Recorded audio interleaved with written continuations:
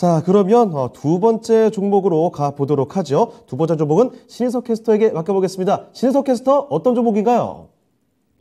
네, 유튜브를 통해서 들어온 종목 진단 만나보도록 하겠습니다. 닉네임 희망찾기님. 네, 최근 시장에 정말 어울리면서도 굉장히 저도 기대감이 갖게 되는 그런 닉네임이시네요. 페노션에 관한 종목 진단 5,100원이시고요. 15% 갖고 계시다고 종목 진단 부탁드린다는 말씀 주셨네요. 네, 페노션 한때는 8,000원까지 가기도 했던 종목인데 정말 많이 내려왔네요. 해운 관련주죠. 최근에 해상 운임이 굉장히 급락하면서 많이 내려왔습니다. 오늘 종가 기준으로 4,410 115원이네요. 많이 내려왔는데 5,100원에 매수를 하셨다고 하니까 약 13% 정도의 손실 구간에 계신 걸로 보입니다.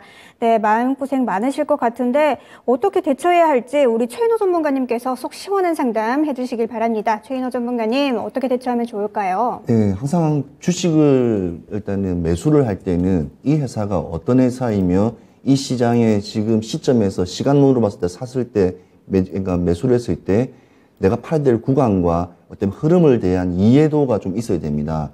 지금 보니까 5,100원이라는 시점 자체가 최근 일례로 지금 봐지고요. 일단은 되게 일단은 매물대 일단은 저항 라인이 많은 상황이죠. 왜냐하면 내가 가지고 있는 주가의 밑, 밑에 있으면 위에가 위에 올라가려면 저항이고 밑을 받치고 있으면 이제 지지라고 대부분 표현하지 않습니까? 그러면 이 펜오션을 한번 보겠습니다. 지금 펜오션은 왜 지금 이 시점에서 들어가면 안 되는 구간이었냐면 그 상해 컨테이너 운임 비수가 1년 사이에 62%가 빠졌어요.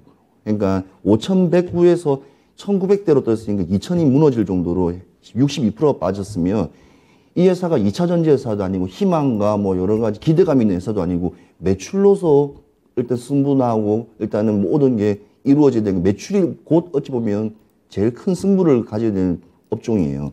그러면 H&M도 있죠. 대한해운도 있고 흥하해운도 있는데 근데 그나마 페노션이 동일한 주가의 차트 흐름이 다 흘러내려가고 있어요.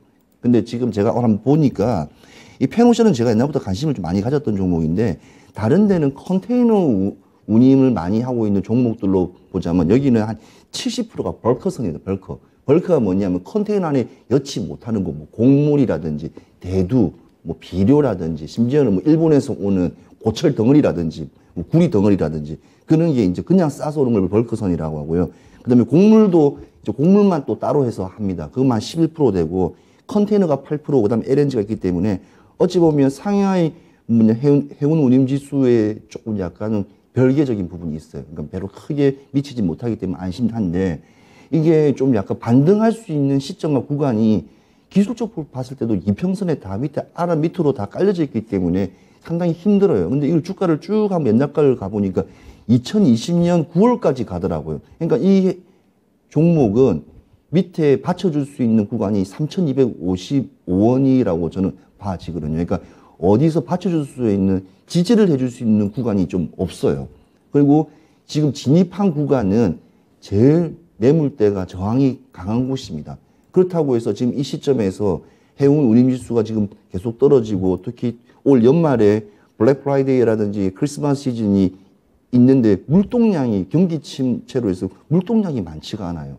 그런 걸 또 고려를 좀 해봐야 됩니다. 그래서 조금 죄송하지만 관망으로 보시고 12%뭐 마음은 속상하시겠죠. 15% 비중이 들어갔으니까 어느 정도로 받칠 수 있는 라인만 나오면 제가 1대1로 한번 반 정도 물타서 가라고 하고 싶지만 지금 시점에서는 그냥 봐야 될 상황, 기술적 반등 시기만 좀 봐야 될 시점이라고 좀 봐지거든요. 그래서 페노션 5,100원 15% 진입하신 우리 시청자분께서는 그냥 관망하고 홀딩으로 하셔서 차후에 한 진입 구간 또 하반기에 또 아까 말씀드렸던 크리스마스라든지 블랙 프라이데이 그 성수기 시점을 한번 보고 그때 한번 다시 한번 저한테 한번 요청하시면 그때 다시 한번 그때 차트 시점에서 다시 한번 더 한번 말씀드리겠습니다. 이상입니다. 네, 알겠습니다. 자, 해운주 팬오션 살펴드렸습니다. 앞서는 저희가 조선주에 대한 종목 진단 도와드렸는데 해운주, 어, 페노션이라든지 HMM 이렇게 대표적인 종목들이 주가가 너무 많이 좀 빠져 있죠. 자, 그래서 지금 당장 어떻게 판단을 내리시기보다는 하반기까지 좀 지켜보시면서 성수기 좀 도래했을 때 아, 보유하셨다가 그때 새로운 판단을 내리셔야 될 것 같습니다. 음, 그때 움직임에 따라서 섬세한 대응이 필요하니까요. 일단 지금보다는 나중에 새로운 판단 내려보시길 바란다. 된다는 점 일단 그때까지 홀딩해 보시길 바라겠습니다. 자, 희망찾기님의 펜 오션까지 진단을 도와드렸습니다.